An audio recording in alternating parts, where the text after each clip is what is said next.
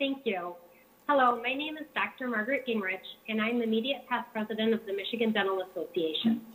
I'm a general dentist that practices in Big Rapids, Michigan, and I am here to speak in favor of House Bill 4067.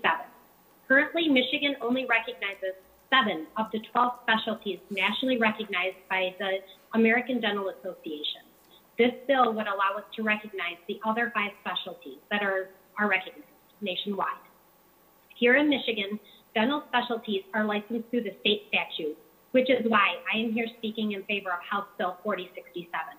This will allow dentists with two to four more years of training beyond a general dentist to be recognized for their training, allow them to hold themselves out to the public as limiting their practice to and being specially qualified in a particular branch of dentistry. It will also help dentists identify and refer to these specialties to help patients receive the specialized care they need. The additional dental specialties we are requesting to be recognized include dental public health, oral and maxillofacial radiology, dental anesthesiology, oral medicine, and oral facial pain.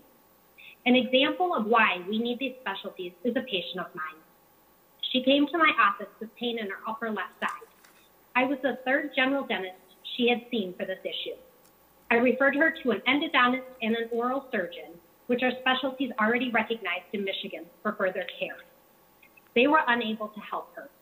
The only place I knew where to refer a patient with chronic facial pain was to the University of Michigan Oral Pain Clinic, three plus hours away. The patient ultimately lost her teeth in that area and to this day still has pain.